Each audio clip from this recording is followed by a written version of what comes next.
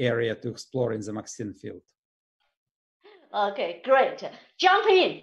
Okay, jump in. After Yuri's talk, I think will be 10 times larger for the MXene groups. Yeah, so this is really, really great. Okay, yeah, well, so proud of you, Yuri. I have this certification. Yeah, it's an honor for ICANX Talk to have you, a silver speaker, top scientist, you know, everything. Yeah. I'm taking this virtual certificate. Thank you very much. That's for you, Yuri.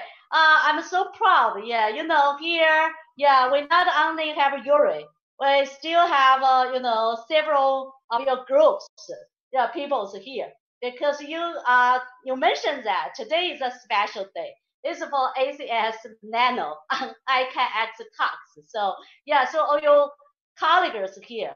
And uh, first, uh, I want to, you know, uh, introduce, uh, ask you a question, Yuri. Uh, waiting for Paul and Yan to turn on the, you know, uh, Paul, could you turn on, yeah, cameras, get everyone on this? First, I want to ask Yuri a question. Yuri, you go around the world, you know, yeah. So from Europe, Japan, US, and everything. So what different kind of experience do you have and how to, you know, make you so successful? Yeah, when you are young, what you did? well, you know, like, um, it's always excitement about science. When I was uh, a student, high school student, I was in a chemistry club. I participated uh-huh. in chemistry Olympiads. After graduation from the university, I wanted to see the world. I wanted to see how scientists in the best labs work. I went to Germany. After that, I went to Japan to see how Japanese were making at the time the best functional materials. I was looking for the best teams, best researchers, and was driven by this excitement of discovery. And this is what I would recommend to junior scientists here. Follow your heart, uh, do whatever you like, whatever you love, whatever you're excited about, and discoveries will come. Wow, cool. What a nice story. Yeah, do what you like. Do, you know, what's in your dream. And yeah, I'm so proud to have you here. You know, ACS Nano Group, the top group. Yeah, is my colleague in Peking University and the chemistry school. Yeah, she is so famous. You know, everyone says that in the chemistry school, the professor, everyone a leading professor. Yeah, so yeah, as a female professor, a top scientist, so can you show us some uh, uh, experience you know, for the female to get a grow up to be a, you know, senior scientist to be get to the top group. Uh, thank you, Alice. Um, uh, frankly speaking, doing doing research is something really magic, but to be a female scientist, a woman scientist, is not is not that magic at all. I fully agree with Yuri. I just uh, have uh, have some similar, not experience, but similar feeling or similar uh, similar uh, similar idea. So mm, just like me, I just uh, see it is not that that strange at all for a woman to be a scientist. Just like a, a normal teacher, a doctor, uh, artist, women can do that. It means women can also become a scientist, right? So actually, I feel women even have uh, some strengths uh, in doing science. For example, women uh, in nature are more curious.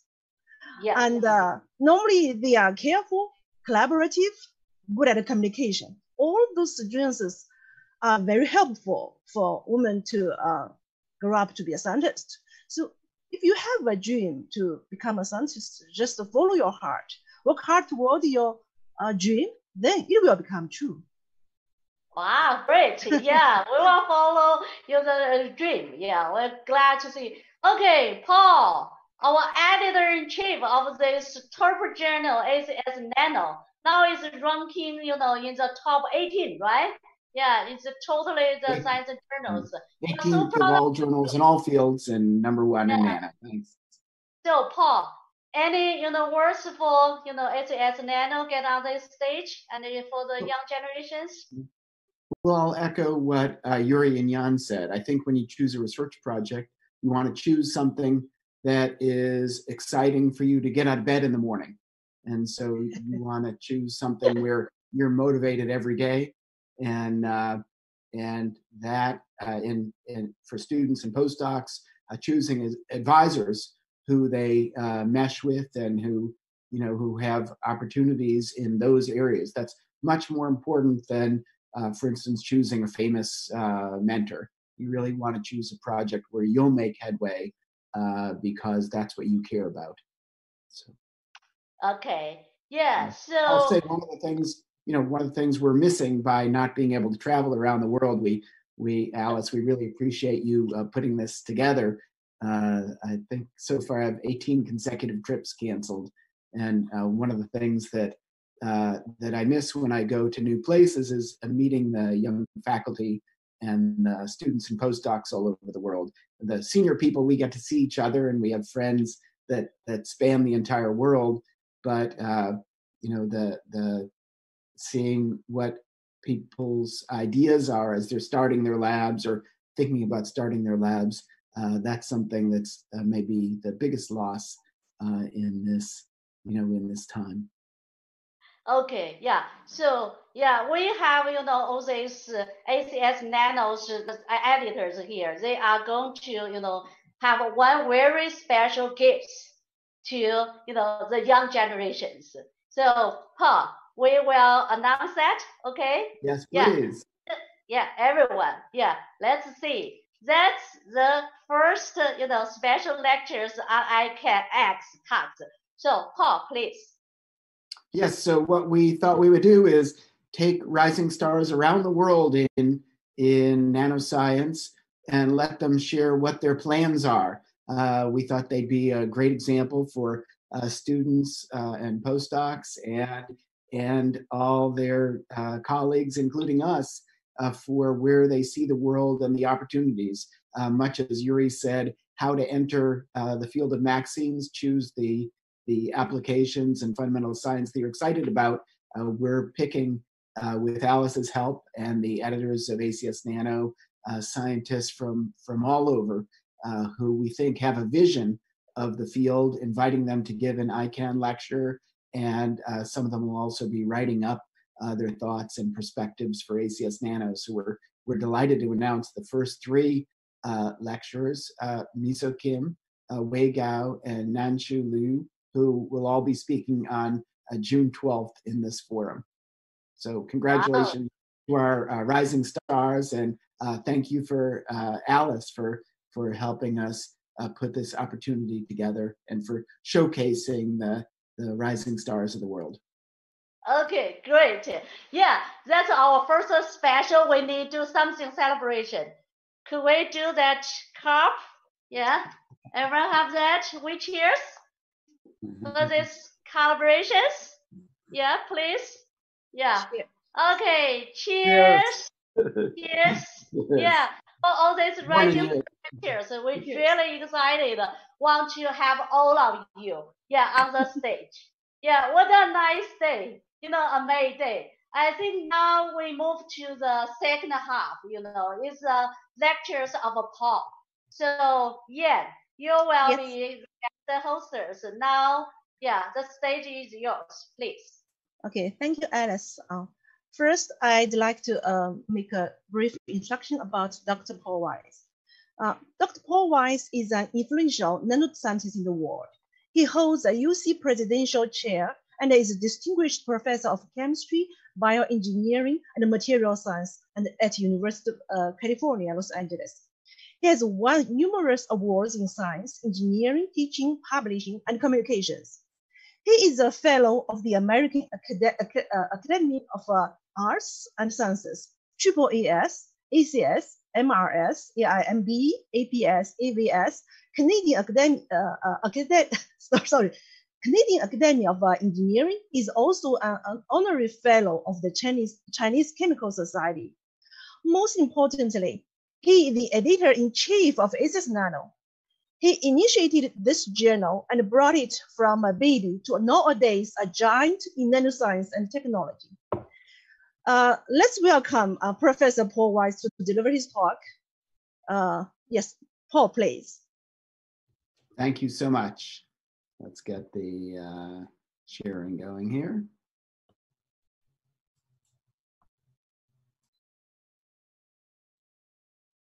And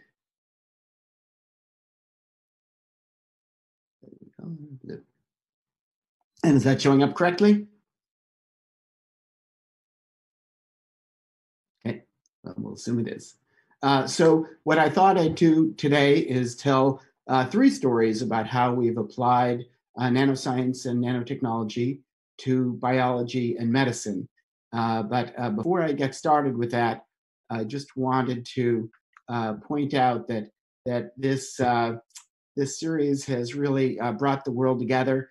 this was a meeting of the IEEE Nano Division that we had in Macau last year, and I thought Alice's title uh, was uh, particularly appropriate for Alice. So, uh, Alice, thank you for for doing this for us and uh, getting us all uh, together on this forum.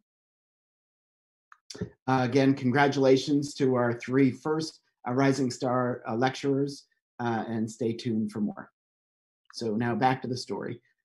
so my world started in nanoscience with building a low temperature scanning tunneling microscope and by uh, learning to manipulate atoms and trying to measure the vibrational spectroscopy of parts of molecules, we moved over to surface functionalization. And I'll show you just a couple of very brief snapshots of that.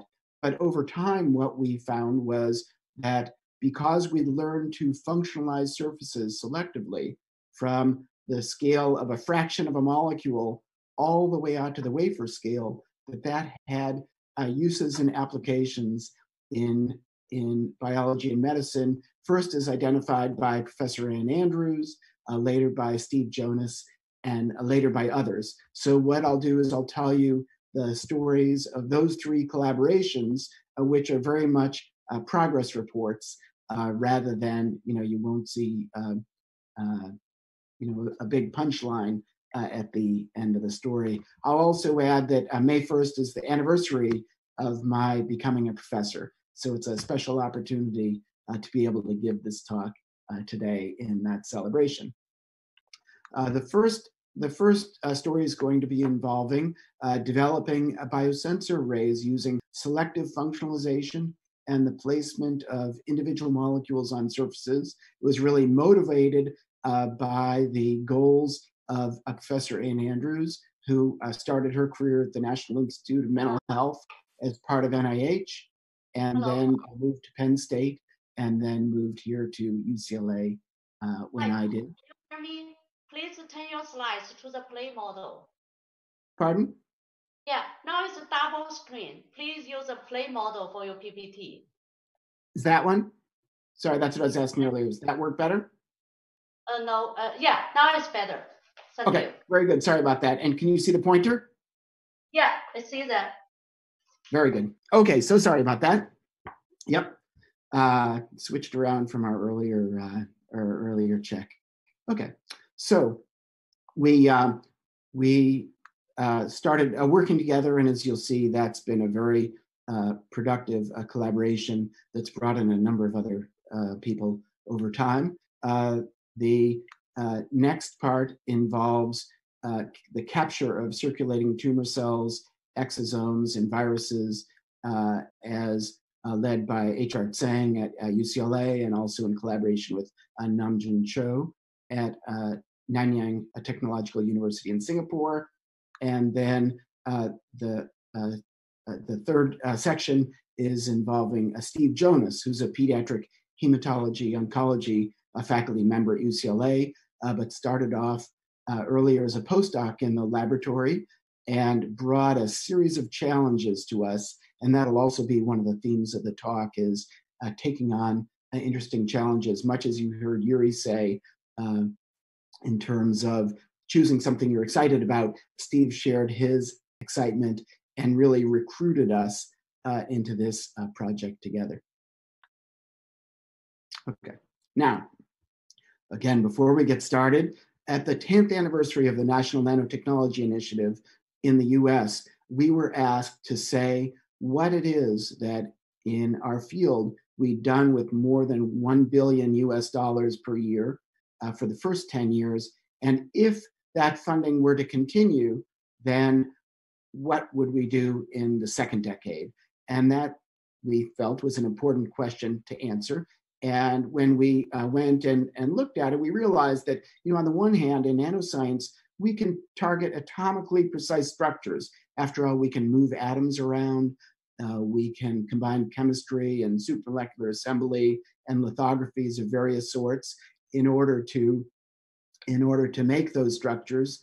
On the other hand, even when we make those structures precise, we find that function varies. If you do the same measurement on exactly the same structure over and over, you find that you get a different answer. And that heterogeneity is intrinsic to uh, the world, to the to the nanoscale world, and in particular to biology, and that there were all kinds of opportunities uh, based on these the playoff of these two uh, aspects. And we wrote that up uh, for a piece in ACS Nano at the time. Uh, the other thing we realized was uh, that we could use the biotechnology revolution uh, for inspiration and guidance in identifying problems and developing new tools to address those. That we we felt that the the new tools had enabled the opening of nanoscience and nanotechnology, and that if we kept asking questions and kept developing ways to answer them, that that would have uh, that would open a world of other possibilities. We also realized uh, something that that hadn't occurred to us uh, before at all, and that was because of the way nanoscience came about, from chemists getting together with physicists, getting together with engineers, getting together with clinicians, getting together with toxicologists, and so forth. That we had taught each other communication skills, and we'd adopted each other's problems, and we'd adopted each other's approaches.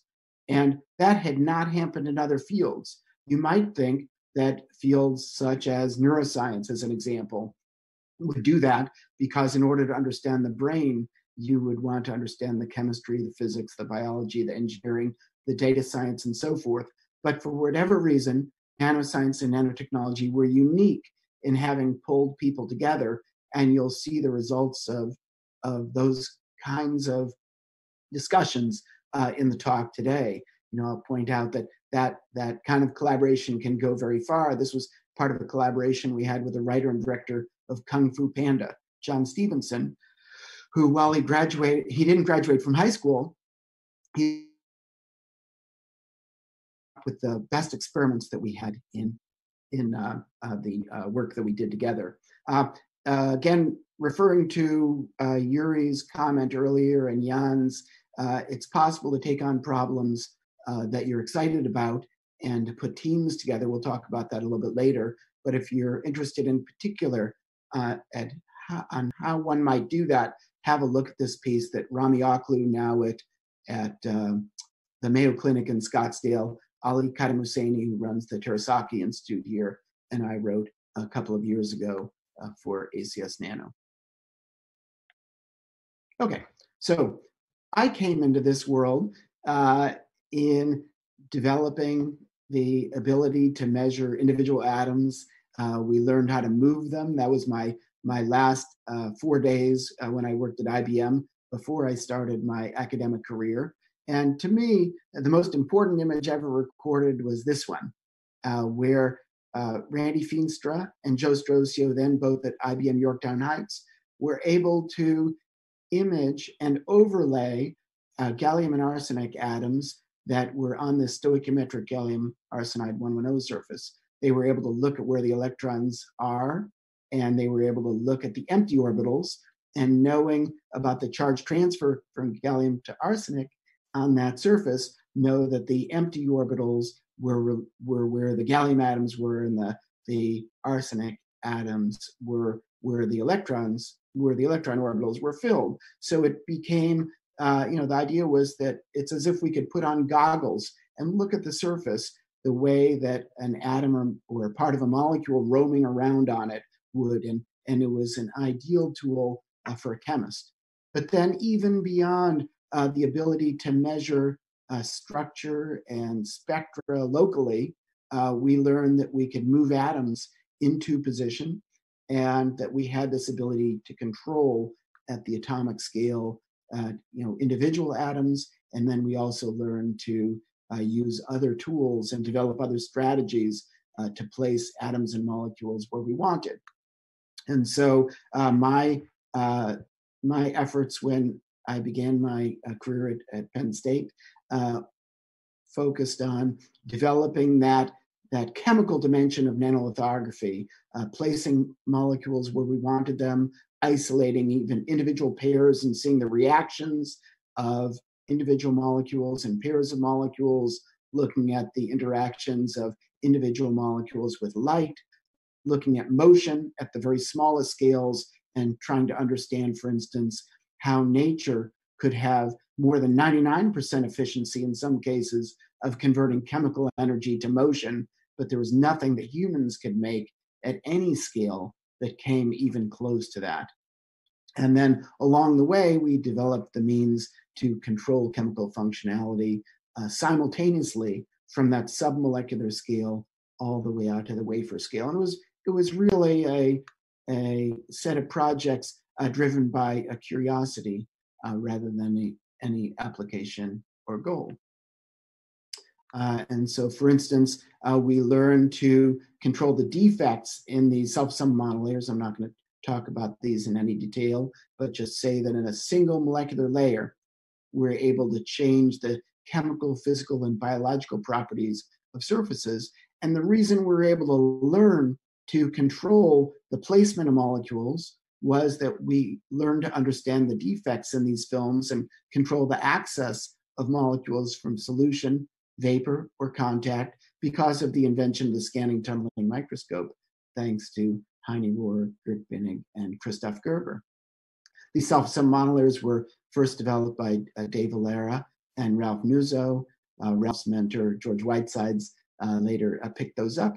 And we really went to town in isolating individual molecules for study with a scanning tunneling microscope, like if you've seen the movie Love Actually, the Bill Nighy character uh, sitting here. So we could position our microscope over him and we could watch him uh, sing and dance.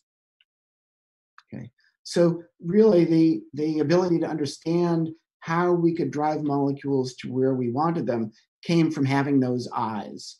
And once we had those, we asked further questions such as what are the structures of the molecules? What are the tilt angles? Developing this technique was about a 20 year project in my laboratory, eventually brought to fruition uh, by uh, Patrick Han and others in the group. Uh, we then learned to place individual functional molecules, and we learned to study, for instance, their motion, their connectivity to the surface, and so forth. And then we learned to pattern hierarchically, where we could make patches where we had individual molecules uh, put in place. And then uh, further on down the line, we learned to attach and to tether individual biomolecules that could be used to capture other capture targets uh, from solution. And that's where uh, the next story picks up. Uh, before I go on, though, I'll say uh, one of the things that made me move to UCLA uh, a little over 10 years ago was uh, the proximity of science, engineering, and medicine. We're all right around one courtyard here, the California Nanosystems Institute, which I came here to join uh, really combines all three with about a third science, third engineering, a third medicine. And I think UCLA is the only place with that proximity of all three uh, subjects at the at the quality that we have and the ability to interact, which we do. There's another aspect of UCLA that I wanted to point out, which is uh, I I think it's the creative center of the world, and there's pressure on us as faculty, as postdocs, as students, as staff to do something crazy in our laboratories. And if you're not going on a limb, if you're not doing that, you're not doing your job. And the advantage of that is if you succeed, then people say, wow, how did you ever think of that?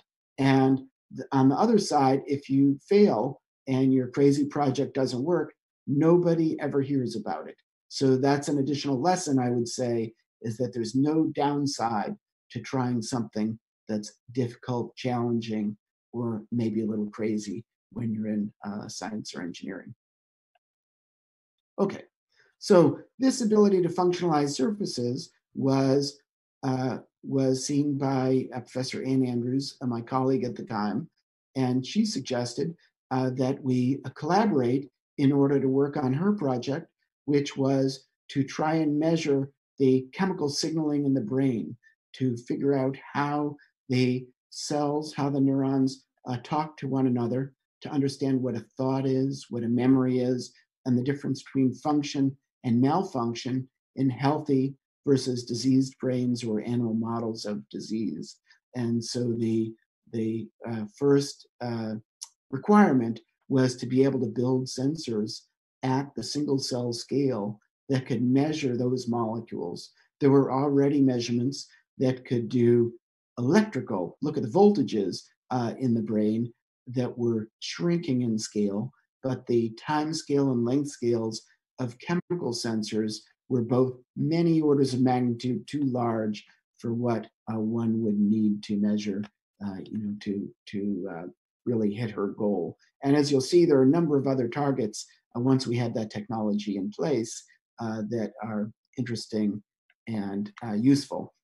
And after we moved to UCLA, I was asked to help put together a panel for the Obama White House in which we looked in nanoscience and nanotechnology what big challenges uh, could be taken on which would make a you know capture the public imagination uh, justify our uh, continued existence and funding uh, as a field and all the support uh, that we'd received to date and a number of other fields were asked to do this as well so for instance the computer scientists had come up with some very successful projects that did get uh, support, but they they didn't they weren't really useful in terms of making the case for science uh, to the country and to the world, who, after all, the public are the people who pay uh, for what we do. Uh, the astrophysicist came up with the idea of dragging an asteroid into Earth orbit uh, for study, uh, and the nanoscientists and nanotechnologists really adopted Professor Andrews' idea that the brain's always been nano and that we had this accidental coincidence between the scale of semiconductor technology, uh, say 10 nanometer gates in current transistor devices in our uh, computers and cell phones and so forth, and the synapse scale of function. After all, the nanoscale is the scale of function in biology. And so as a group, we we argued for the idea that we should combine nano and neuro and that we should go after these measurements of how neural circuits functioned and how they didn't. But then we got in an argument within the group that was fought out in the literature in which the engineers and physicists uh, said, well, it's all voltages and the brain's a computer. Why don't we just go ahead and measure all the voltages and then we'll be done? And uh, we argued that we have these 100 chemical dimensions of interpenetrating and heterogeneous networks that we really needed to understand those if we were ever to understand how the brain worked and how it failed. And, and really, the institute directors of the National Institutes of Health uh, came to uh, the side of if you don't measure the, the chemistry and the chemical signaling in the brain, then they wouldn't be supportive. And that's when everyone got on board and we uh, developed what eventually became called the Brain Initiative. We actually had another name for it earlier, but the night before the announcement in the White House, uh, President Obama changed the name. Uh, he's allowed to do that. and uh, we had already published the technology roadmap in ACS Nano for that, laying out what we would need to do with a heavy emphasis on technology development. And going back to biotechnology, that was really inspired by the Human Genome Project in which the last three years of the project really made all the difference when instead of going brute force at the problem, the technology of rapid sequencing uh, was developed. And that's, I would say, the biggest impact of the Human Genome Project is now we can you know, have our own genome sequenced. We can have uh, different species sequenced. We can look at the heterogeneity we talked about earlier and so forth. And we saw that as the primary success of the Genome Project. And so we said technology should be up front. Okay, so here was Professor Andrews' idea was that we would have electronic devices, uh, transistors, put into arrays that would have artificial receptors that would allow us to detect those 100 different neurotransmitters and to understand uh, how the, the brain was communicating using these uh, chemical signaling molecules. And we particularly uh, focused on DNA aptamers. So these are DNA molecules that are selected from libraries of trillions of possibilities such that they'll change conformation when they recognize their target. And because we have to do these measurements in the brain, the electronics come into play very closely here. So the way that these transistors work is if there's a changing charge on the surface, just like the gate in a traditional semiconductor device, then that will uh, that will change the conductance of the channel, and we can detect that with very great sensitivity. But the problem is our bodies are salty. So if you look at electronic sensors in biology, those are essentially always in a laboratory, never in vivo. And so what people do is they dilute the salt out or remove it selectively before they do that detection. But it turns out it's not a good idea to dilute your brain. And so we needed to come up with a method that would work sensitively in uh, in the brain in vivo uh, and not be disturbed by those high salt concentrations. And in fact, the screening length in the brain uh, and in vivo is about a nanometer, the Debye length. And so that's the scale at which we had to make sure that the, the detecting molecules uh, would work. And so enzymes are larger than that, and those, you know, if we functionalize the transistor uh, channels with those, that wouldn't work. Likewise, antibodies that can work in the laboratory uh, would not work in vivo. And the aptamers, particularly the ones designed by our collaborator Milan Stojanovic at Columbia University, are designed such that there are conformational changes that take place very close to the surface, and that allows us to do the detection that I described. And I'll point out this uh, work was led by our graduate student Nako Nakatsuka, who's now a postdoc at ETH in Zurich. Okay. Along the way, as I mentioned, we also developed lithographic methods. And so uh, one of them involved using polymer stamps. If those of you are familiar with microcontact printing, it's a derivative of that in which we make the stamp reactive and we're able to pull off the molecules that are forming the monolayer initially on the surface and rip them off with a stamp. And that gives us the ability to pattern entire wafers at a time with uh, chemical uh, you know, and, and replace the uh, uh, molecules on those with the semiconductors that will further functionalize. There are a lot of other interesting uses of these that we won't have a chance to talk about today. Okay, then uh, we use the sol chemistry that our uh, colleague at UCLA, Yang Yang, who's uh, currently Dean of Engineering at Westlake University, we we hope he comes back after that uh, to UCLA. Uh, we used his sol chemistry to make the transistors on the surface, and we got better semiconductor properties than we really had any right to expect. And the, this part of the project was before we'd started working with Milan Stojanovic, and so we used an, an aptamer for the neurotransmitter dopamine that was known in the literature but had a problem. And that problem is it had cross reactivity with norepinephrine.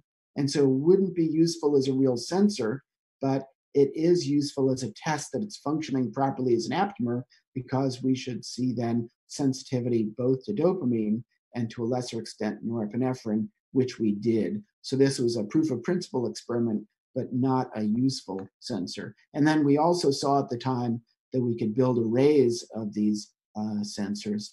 And so ultimately, that would be advantageous for us as we as we develop the arrays that we wanted to put in vivo. Okay. Enter Milan, and he was able to develop much more selective and sensitive aptamers.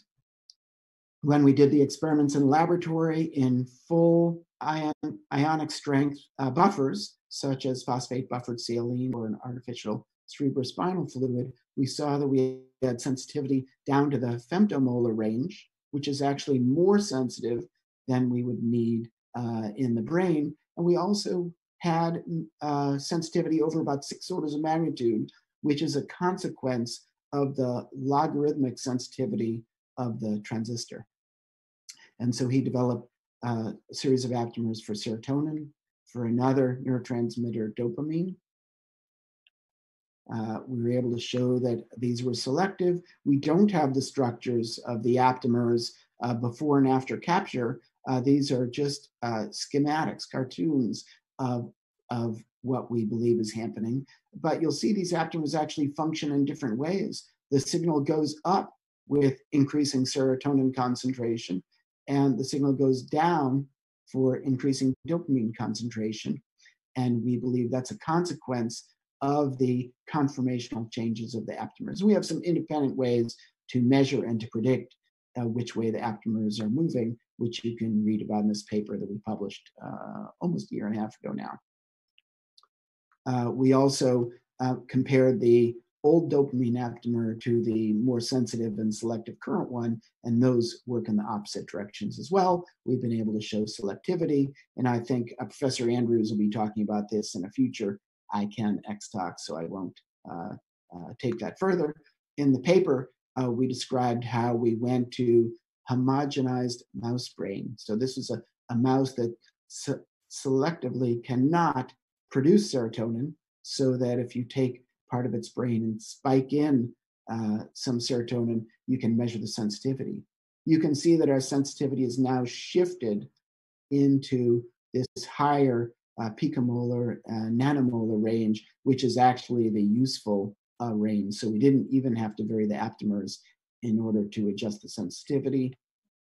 I just want to point out Chuanzhen Zhao, who's going to be the one translating uh, this uh, talk over the next couple of days, uh, has been working to take these sensors in vivo and has been uh, leading the charge uh, with the uh, first measurements inside live behaving mice shown here. And you'll hear about that more from his thesis and publications, as well as Professor Andrews' talk. Now, we were also able to show that we could take these sensors and that we could put them on flexible substrates such that we could make temporary tattoos as you heard about in John Rogers' uh, inaugural ICANX lecture a couple of weeks ago, uh, put them in uh, contact lenses and so forth uh, to do uh, sensitive uh, measurements. And I believe you'll also be hearing from Ali Javi in the coming weeks, but certainly Wei Gao, one of his mentees, as one of the rising stars, talking about work related to these efforts and all the things that we might be able to do uh, with wearable sensors. Okay. Uh, we've also, uh, right at the end of last year, 2018, I guess, yeah, uh, we showed that uh, we can we can measure other interesting molecules uh, such as phenylalanine, to which phenylketonuria are sensitive. And particularly interesting here is there are really three different types of aptamers that Milan Stojanovic developed all of which have uh, different properties and then uh, advantages in their use. And we've been able to show, again, the specificity there. So if you're interested, I'll refer you to this uh, ACS Sensors uh, paper. Well, there are other places these kinds of sensors uh, can be of use. For instance, in the microbiome, uh, the same species and different species talk to one another. there are signaling molecules that we'd like to be able to detect both to tell the presence of individual species, but also to understand how they interact. And when it came time for the uh, development of the third big initiative uh, from the White House, uh, the, the microbiome initiative, uh, there was a comparison between the first two. So we talked about the brain initiative, and I think you had probably heard about that already. There was a second one called precision medicine. And the people who developed that one were really from that field and never encouraged others, were never so open to bringing in uh, people with other approaches and other techniques and it was viewed as less successful than the BRAIN Initiative.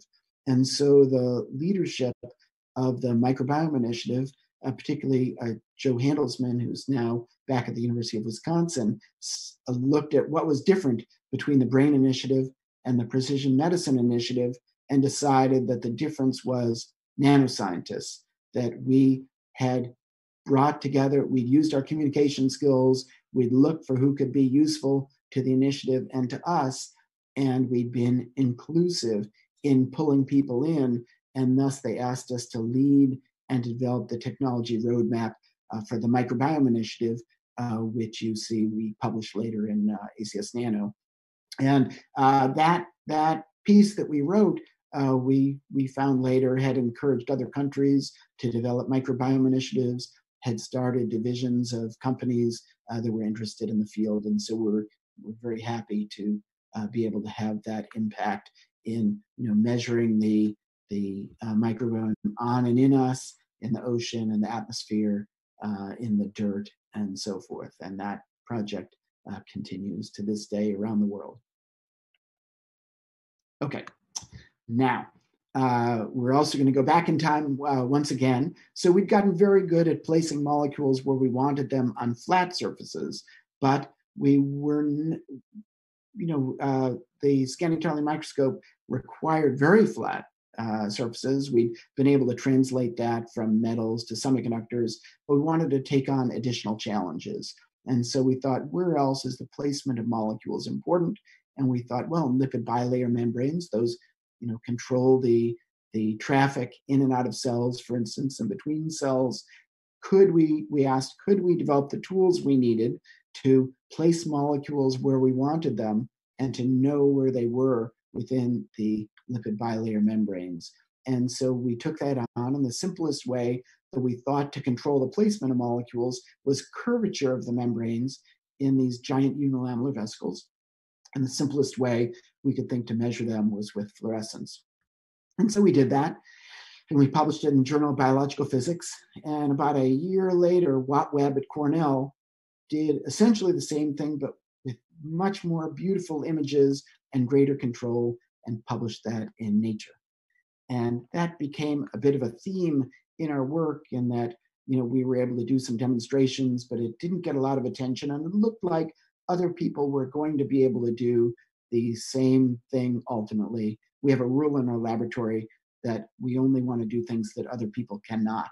And so if someone's going to do something anyway, uh, they can have it. We did encourage others uh, of our colleagues in uh, in trying to gain this control and gain this measurement. And Andy Ewing and Nick Winograd uh, down the hall from me at the time uh, showed the placement of molecules with secondary mass spectrometry in these mating cells, and that there were uh, different there was different chemistry in these junctions than elsewhere.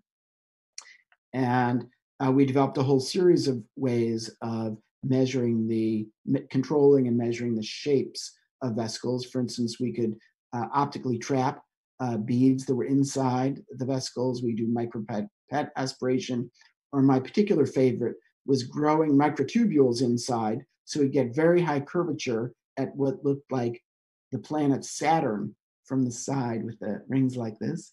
Uh, these, it's just a line, though, not a ring, uh, where there's high curvature here, zero curvature along one dimension, high curvature along others, negative curvature and normal curvature, all in the same system.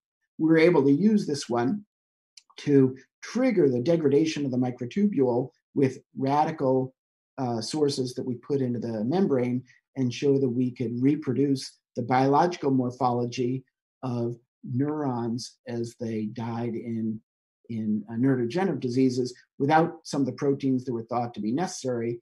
And that was actually the first paper that uh, Professor Andrews and I published together. It was on the cover of uh, PNAS. And if you look closely at Big Bang, show Big Bang Theory, it's apparently on the wall of Amy Farrah Fowler's apartment, although we don't know if it was ever on camera. So if you do find it, please let us know.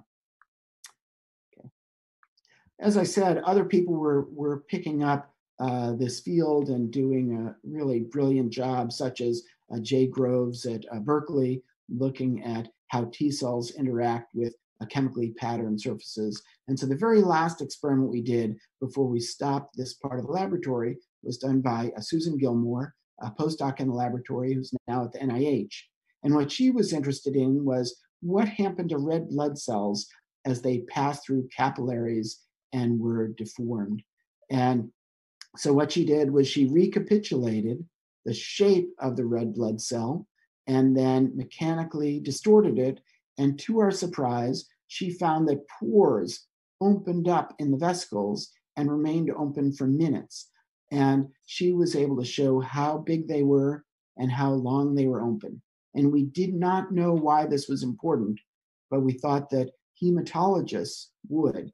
And so I'm a strong believer in publishing papers in the correct journal. And so we sent this this uh, this work to the flagship hematology journal Blood three times, and three times it was not sent out to be reviewed. And so we published it in the Journal of Physical Chemistry B, and as far as we can tell, nobody read it. And so when uh, in 2009, when we moved to UCLA, uh, we stopped doing this work. But uh, a few years ago, uh, Steve Jonas uh, indicated that after his residencies, an MD PhD, uh, he was an MD PhD at UCLA at the time. After his residency, he would join the lab, and we started looking for projects that we would work on. And one of the uh, projects that he pitched to the group was to do high throughput cellular therapies. In other words, do transfect hematopoietic stem cells for bone marrow repair in children with diseases like sickle cell or thalassemias. We'll talk about those more in uh, just a little bit, uh, and also for cancer immunotherapies. And in particular, there was a, a paper that had been published by uh, Bob Langer and Dan Anderson, Klaus Jensen at MIT, in which they squeezed cells through a constriction in a microfluidic channel, opening up transient pores and then enabling them to get biomolecular packages uh, into the cells. And so, you know, at that point, we said, oh, well, that's what you do uh, with the transient pores. And they faced a problem that their pores would clog after a few thousand cells, which, when we realized how many cells we needed for a, a child, for a bone marrow transplant, uh, 12 kilogram child would need about 1 billion cells. And so the challenge that we posed to the group was how do you make the channels not clog? And we came up with half a dozen different solutions to that.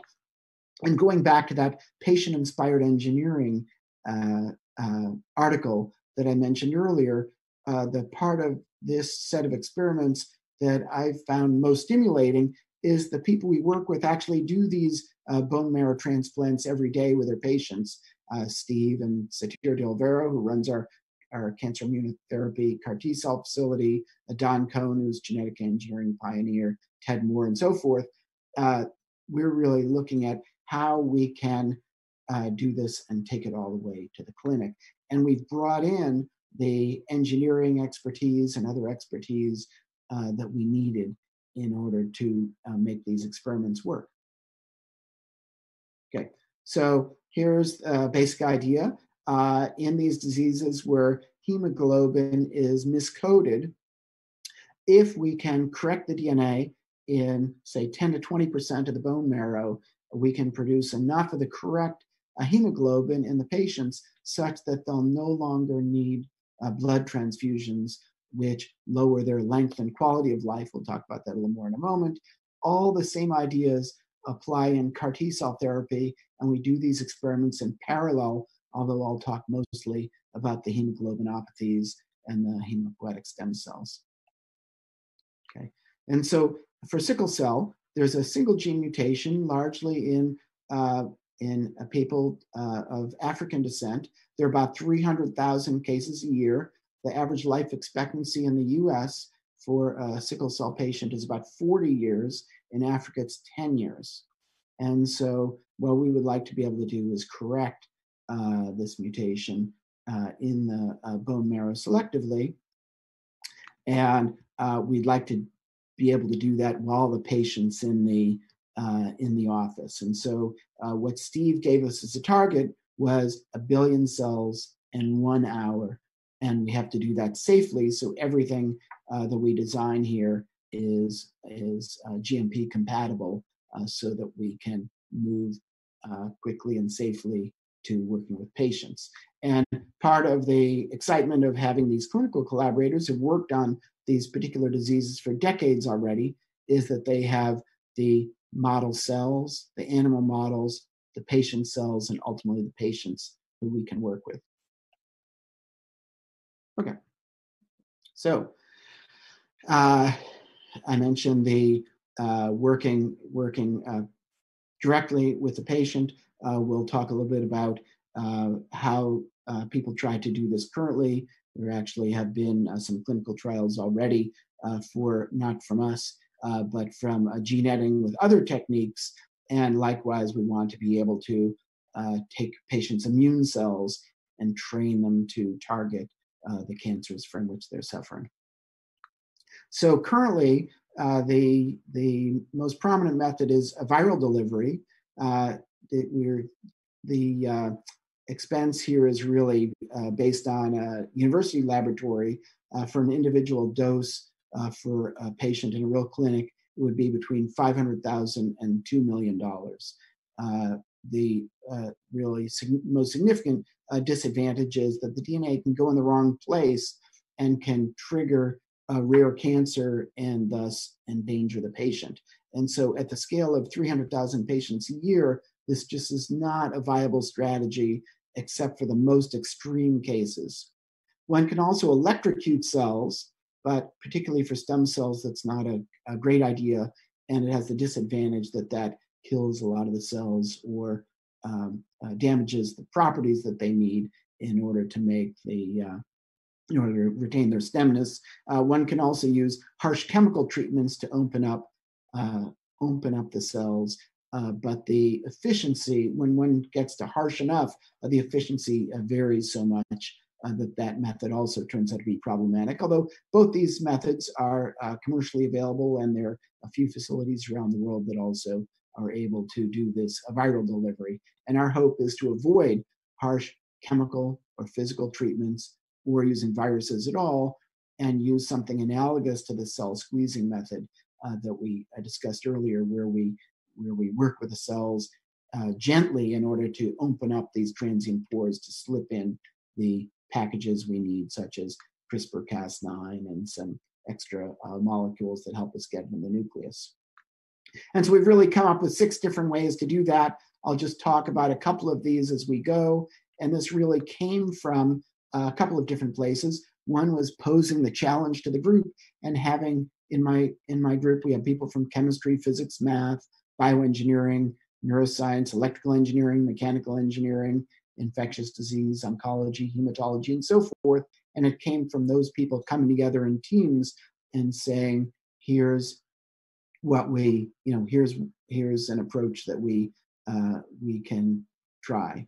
Uh, a bit uh, more background: our colleague H.R. Tsang, who's going to play uh, an important role in uh, in the uh, next part of the talk, had been working on capturing circulating tumor cells with what he called nanovelcro, and he noticed that there was penetration of the cells with these needles. It's really ex silica on a surface. And he thought, well, maybe I can use that mechanical penetration to, to deliver uh, payloads into the cells.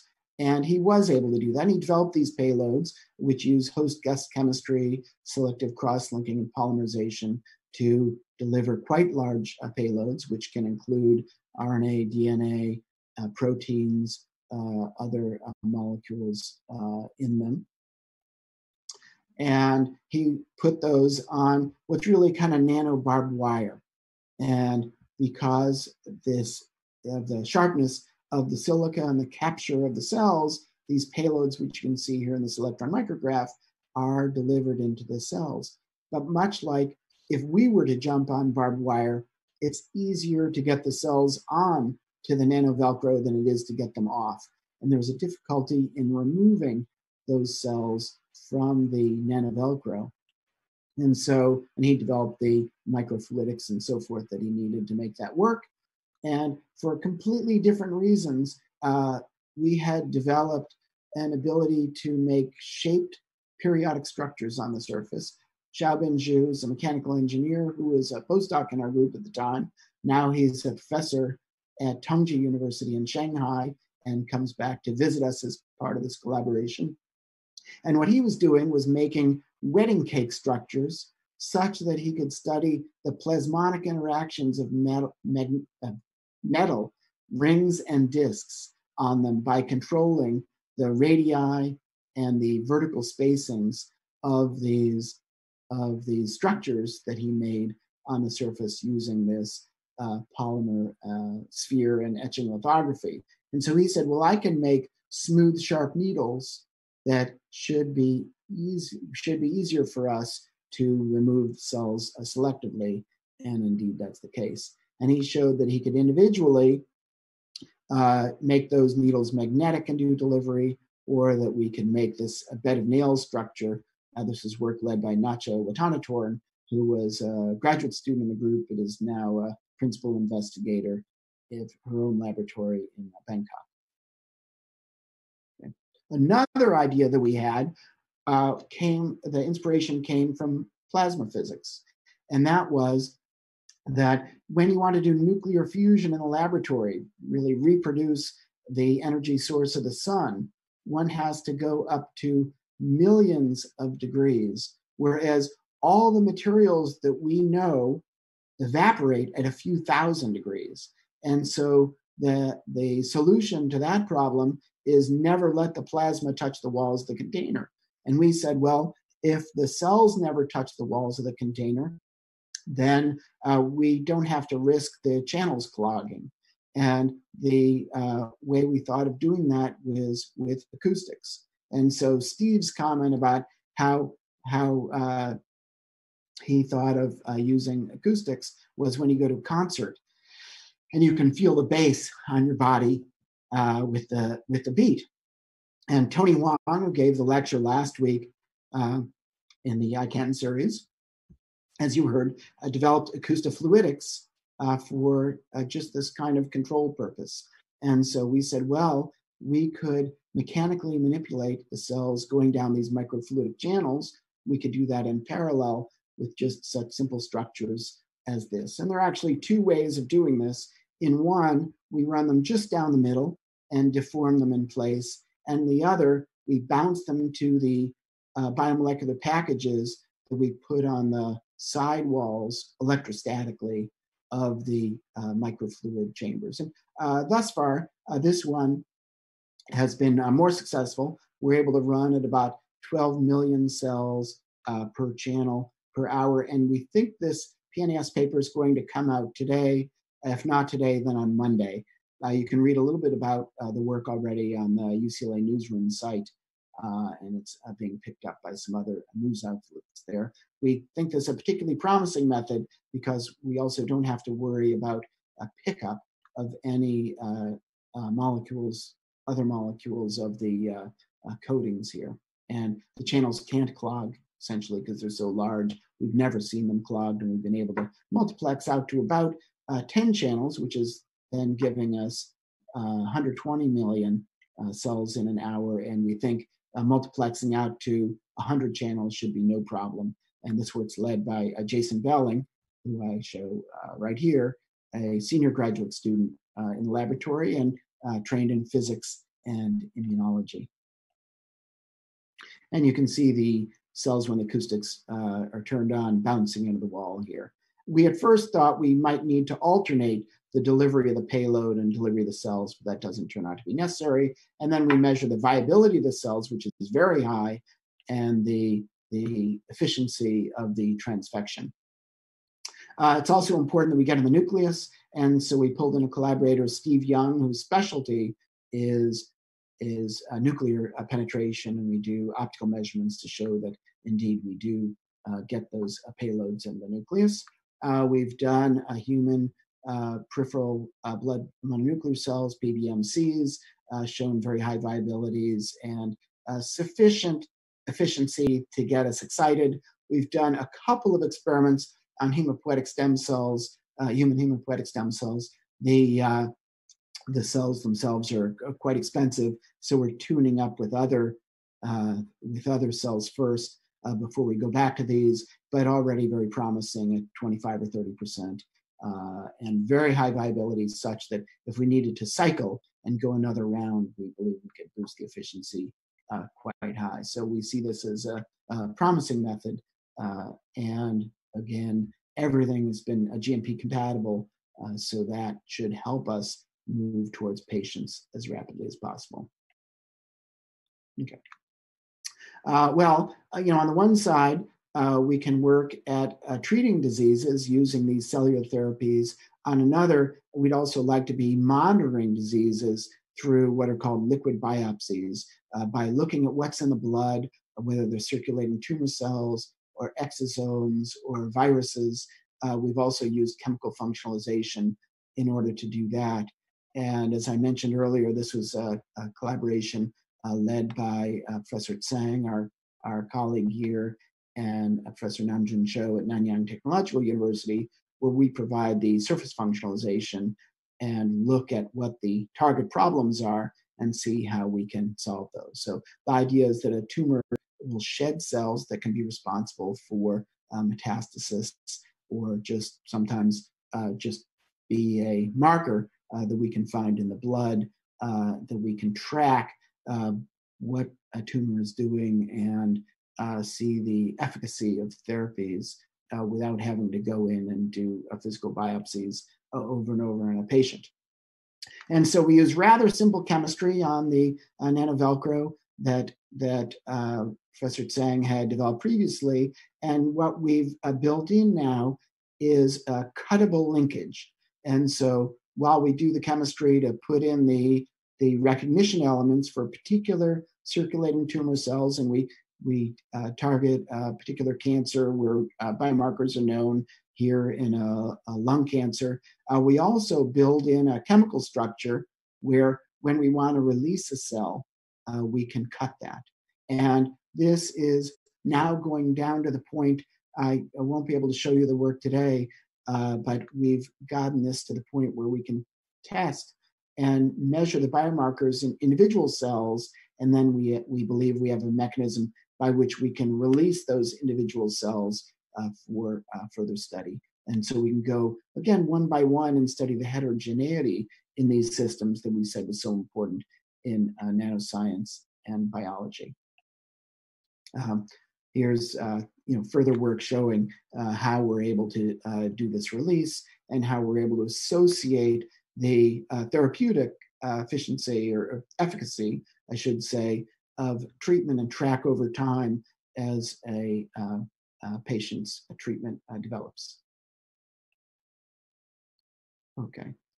Uh, and then for exosomes, these are more like the uh, vesicles that I showed earlier. Those aren't as robust as the circulating tumor cells, and so one can't uh, be as rough with them as the nanovelcro. So what we tried to do was mimic the villi that are in your intestines, the sort of forest, uh, and uh, do that in order to capture the exosomes within that forest by again using uh, chemistry that gives us specific recognition of the ones we're looking for uh, with uh, biomarkers that we have in place, and you read about that in this paper we published uh, this last year. Okay, and this work's continuing where we, we have done a similar work for viruses. Uh, as we develop uh, biomarkers, we can develop the tools to capture those. there's some particular circulating tumor cells with, with very known functionality on the surface on which we're building the system.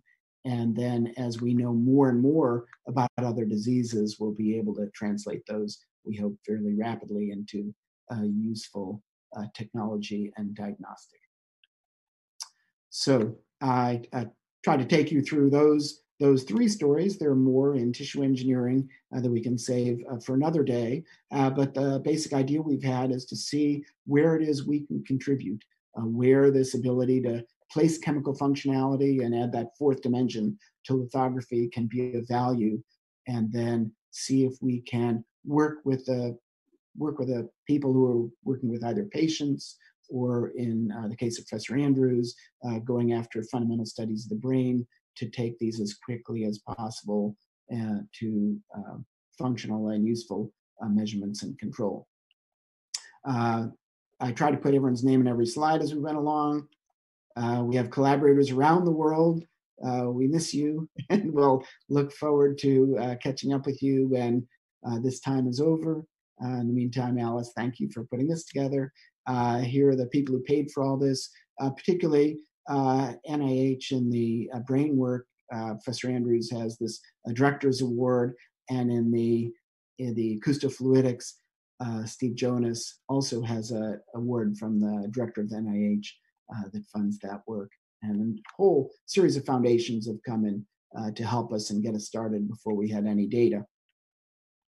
Uh, one of the last, uh, really the last thing I'd like to say is, you know, I, I, I think what we've learned over time is if you're curious, you can look for these refractory or at least unsolved problems, and you'll find a series of like-minded people who will have very different skills, and you can teach each other those skills and the approaches and even the targets, as you saw uh, throughout those uh, these talks, and you'll have a bigger audience by doing that and you'll learn a lot of the fundamentals that you'll need you know along the way this is a self-selecting group and so it'll it'll keep growing. This is something we're doing at ucla now and we'll expand to other universities beyond you know our research group.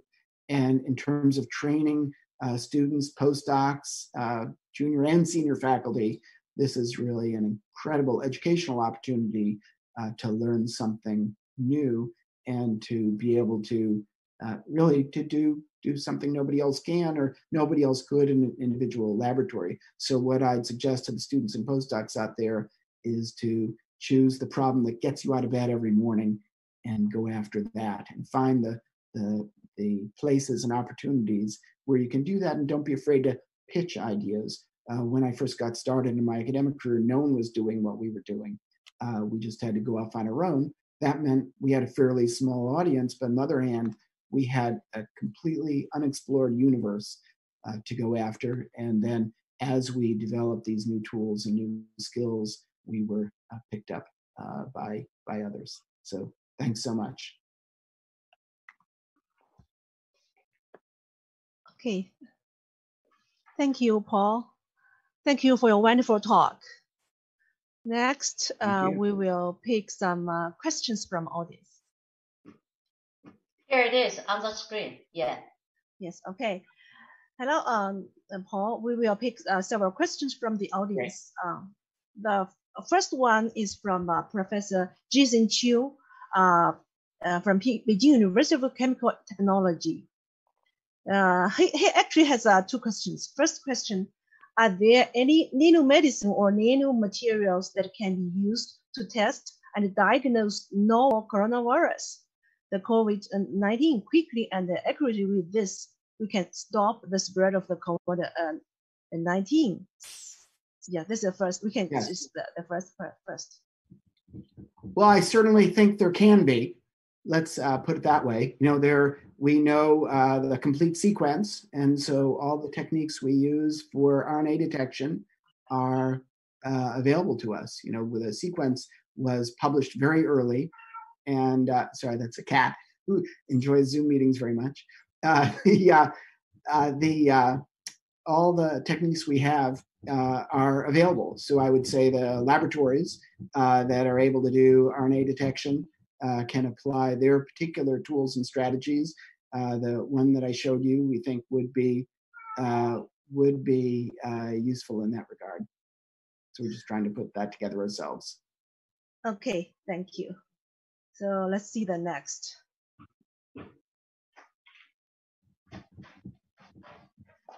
Hello, please show. Is there? Okay. Uh, second question. Um, uh, it's a question uh, from uh, me. Okay, he's from Harbin Institute of Technology. The smallest mystery is our body in nature. What are the most significant challenges do you think for the biosensor if we plan to explore more? Yeah. Okay. So that's a great question. So the uh, you know the idea is we can develop uh, sensors for the molecules we know, but there are many that we don't know, right? For instance, in the brain, there are 100 chemical signaling molecules that we know, but there may well be others, right? There have been discoveries over many years. So if we don't, uh, if we don't know they're there, uh, then they're they're holes. And so this is a problem that really needs to bring together chemists and measurement scientists and neuroscientists and other problems. And that that uh, same idea is repeated by analogy in all the different systems we want to study, such as the microbiome. You know, so for uh, the oral microbiome, we know the top two or three hundred uh, species that are in our mouth, and it turns out people have been able to measure most of the signaling molecules and work out the biological pathways for those. But on other systems, for instance, our skin, right? We have heterogeneity across our individual bodies and heterogeneity between us, and we don't know those systems well. In the gut microbiome, right, it's less accessible to us, if you know what I mean. and so uh, there's spatial heterogeneity and temporal heterogeneity and responses to what we eat and do. And that's a very important system uh, for our health.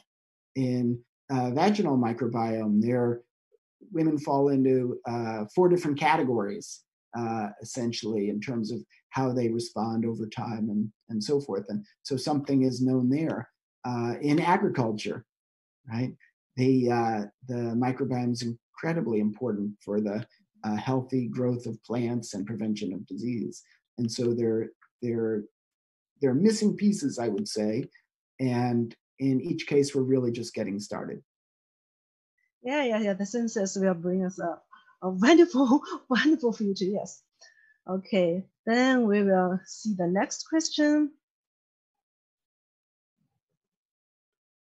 So, the uh, uh, yeah, also a great question. So, what's the biophysics of the pores? Okay. great. you want to read it, or shall we? Yeah, that's a great question. Yeah. So uh, the answer is uh, we don't know. It was a surprise when we found it.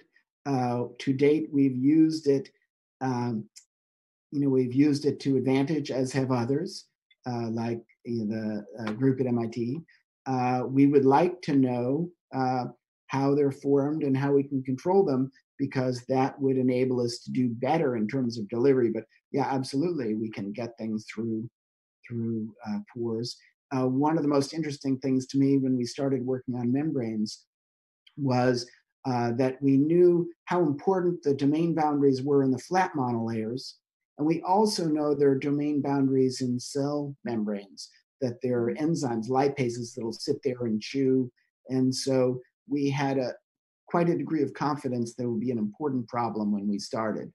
So uh, you know, from from that point of view. But the transient pores is a very interesting biophysics problem, and I actually have a graduate student using this time of shelter in place in order to design a whole series of experiments to to uh, test that.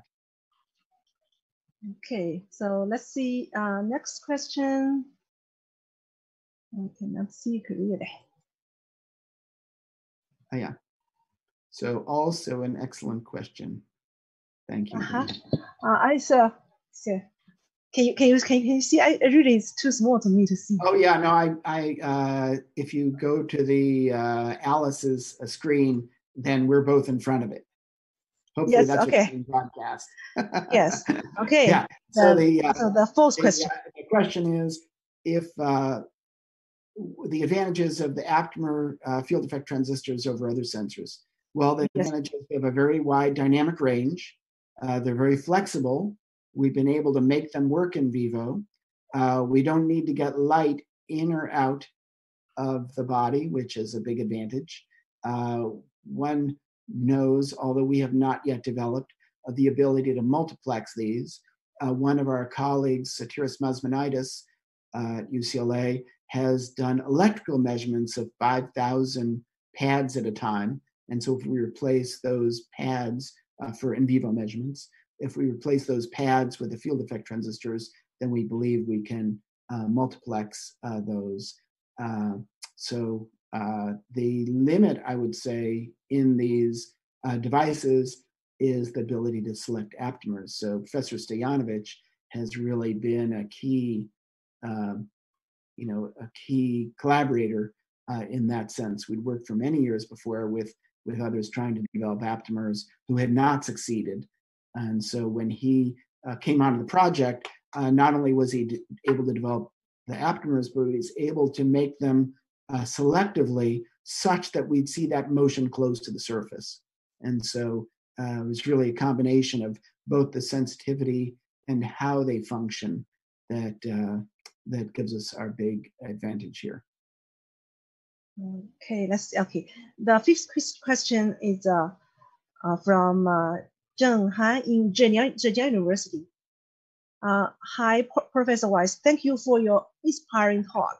I'm quite interested in the probing of the microbiomes with the sensor array you mentioned, but I'm wondering how to detect the microbiota with biosensors. For example, in the human gut, since uh, the microbiome uh, could be very complicated. Besides, what do you think about the main yes. challenges for biosensors? Okay, so uh, I agree. The, as I said, the gut is less accessible. And there are people who've made, for instance, swallowable sensors. Uh, Kourosh uh, Zadeh at uh, UNSW uh, has a system that'll pass through the gut and give feedback that way. Our particular strategy is to say, lots of people are looking at the gut. Let's look at more accessible systems. So our initial interest is in the oral microbiome, where there are incredibly important uh, problems there. Uh, that's why Ali Reza Moshe was on the slide. I didn't have a chance to talk about the work we're trying to do together, but by knowing all the signaling molecules in the mouth, we can identify the species that are there. Some are harmful. They give us cavities, or with if we have a surgical implant, they chew around it and it falls out. And dentists and periodontists and prosthodontists know this, but they don't currently have any reconnaissance. And so if we can tell someone that they have this species in their mouth, we can, for instance, delay a surgery. Or what our uh, former colleague uh, did, uh, Shi did uh, was say, okay, you have a species in your mouth that gives you cavities, we'll get rid of that one and grow the protective species that excludes the main species that gives you cavities. And so he developed a lollipop uh, that let uh, people get rid of the cavity producing species. And so for me, uh, you know, I see an advantage in the more accessible microbiomes than the gut so I have circumvented the question, uh, but that's the that's the approach we took in the laboratory. I figure lots of people are looking at the gut, not so many people are looking at other microbiomes, and they're important and interesting problems. Sometimes it's in, not only important to choose what problems to approach, it's also important to choose what problems not to approach. So my father's field was probability, and that one minus p is always a very valuable concept that I try to apply to our work as well. Okay, thank you, Paul. So let's see if there are any more questions. Uh, yeah, we chose five. Okay, okay, then we'll finish our task. Thank you very much for your wonderful talk, Paul. Oh, so, thank you so much for the invitation and the opportunity.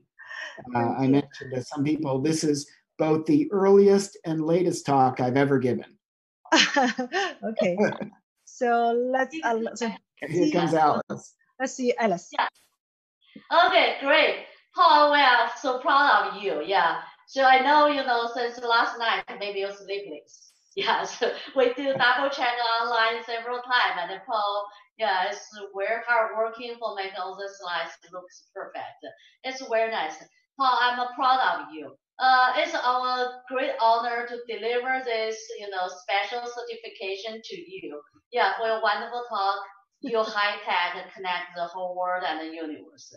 Paul Weiss for the nanotech approach to biology and medicine. That's for you, Paul. Thank you so much. it is great. Yeah, so I think, you know, yeah, we have a really, really great time. So yeah, now I make few, you know, announcements on this. And uh, first is for the Rising Stars, for all of our ACS Nano group here. Yeah, I think it's a great honor to you know, have this Rising Stars lecture on, uh, you know, on I Can X. Because iCAN talks is, uh, you know, really want to make all people's feelings, you know, uh, you can share everything with the whole world.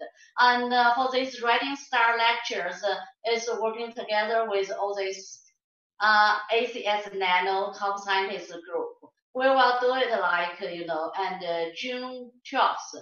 So the introduce young scientists, rising star, introduced by all these senior scientists, right? The editor board, right? Paul, is that the idea? Yes, exactly. Yeah. Yeah. So, so we're hoping to have the relevant editor, although we have to figure out where they are in the world, or uh, advisor or senior scientist do an introduction. Uh, very much the way those of you who've been to thesis defenses in Scandinavia know about uh, the opponent there, who puts the work in context briefly, in addition to the the uh, normal uh, academic introduction. So yeah. very short talk, but something that says uh, talks about the field. That's really, really good. I think this time, you know, we do this lively, you know, interactive discussions on the same stage. It's a very good experience. So we'll continue that. And it's Rising Star lectures, uh, yeah, we continue, you know, to get some more discussions, share more experience and all these things to come out. I think I can act is a uh, stage for all these kind of new things. Yeah, new technology and the new kind of innovations, everything on this stage. So thanks Paul and your top group on this, you know, I can X tax. This was really a day for I can X ACS Nano Day we're looking forward to the Rising Star Day, the Rising Star lectures. Thank you all. Yeah, that's my first, uh, you know, highlight. So keep on ICANX, you know, talks. We will have these young generations get on the stage. Yeah, next is for another young generations get on stage. It's an event for mine. We run for several years. Choose a young scientist, you know, worldwide well, this time I choose four of them to get on the stage to share as at June 5th. So they will deliver the talk in microsystem and nano engineering. So last week, I think I was already, you know, deliver this message because now it's calling for the MINE Young Scientist Awards candidates. So this uh, award is uh, uh, sponsored by the Microsystem and Nano Engineering journals. Yeah, but I was uh, you know, be the chair for several years of this Young Scientist Award. So I always, you know, try to promote, promote. Yeah, please join us. This is a very open, open stage. And uh, to get all your materials prepared ready, you can nominate by the, you know, senior scientists. You also can self-nominate. Yeah, that's all welcome the main idea for this Young Scientist Award is to try to get more people, you know, on the stage to show your latest work. So this will be uh, uh, ongoing, and uh, be sure to submit your materials on time, and we will do that later. Okay, yeah, that's two advertisement for these young generations. Remember, keep in mind, you know, iCANX talks is a stage not only for the senior scientist, it's also for the junior scientist. If you have something to show, if you have the latest, you know, kind of inform uh, technique, information innovations, this stage is for you. So the whole world is for you. So be sure, be brave enough, you know, to jump in. Yeah, to diving in this new world. That's exactly the welcome message from ICANX Talks. And uh, next week, we will have two top scientists. One was Nico Fang, as uh, from uh, MIT. You know, he's very famous for the nano fabrications, do a lot of nice works. And Xiuling Li, uh, is one of the uh, most famous lady scientists I was admired for many years. Yeah, she graduated from Peking University, the same school from uh, Professor Yan, Yan Li, you know, that's a alumni. Yeah, outstanding alumni from uh, uh, PKU's chemistry skills. She's doing so well, and she's a silver speaker. She will get on stage, you know, next week. So we're looking forward May 8th.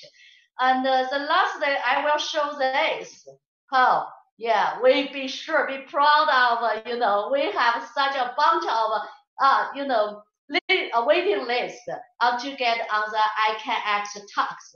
So we uh, invited all these famous scientists they want to show. We also open for the scientists who going to want to show to others. You can send your information to us. We will see uh, if suitable.